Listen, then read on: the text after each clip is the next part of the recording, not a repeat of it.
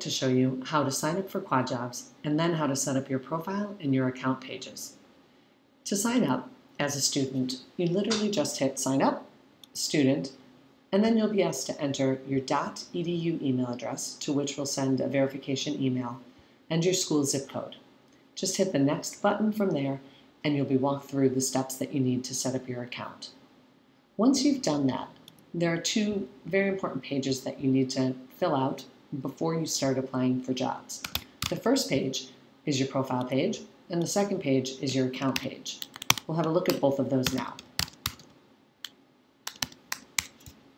Once you log in, go to the menu bar in the upper right and choose either profile or account. We'll start with the account page.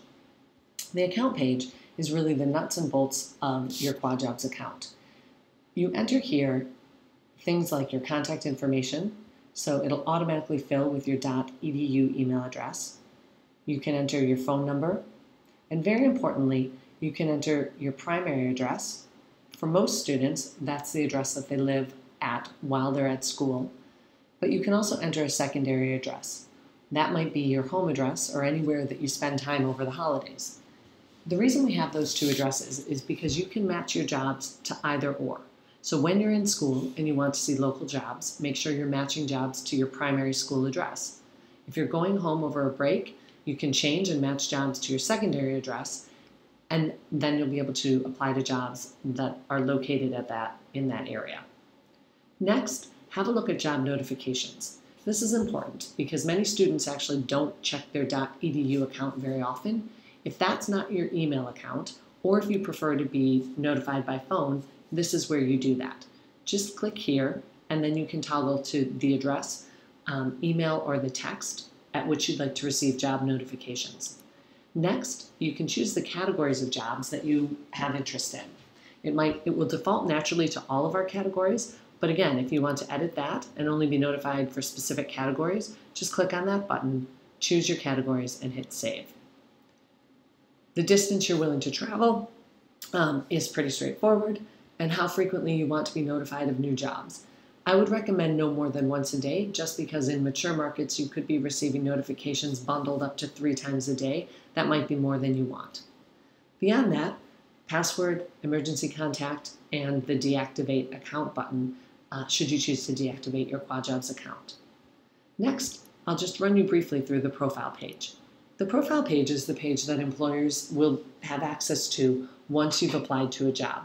Again, they don't have access to your profile page until you've actually applied to the job. This is really your calling card, so you'll want to make sure that you've gone through this page, you've spell checked it, you've included as much detail as possible, you've really put some care into it.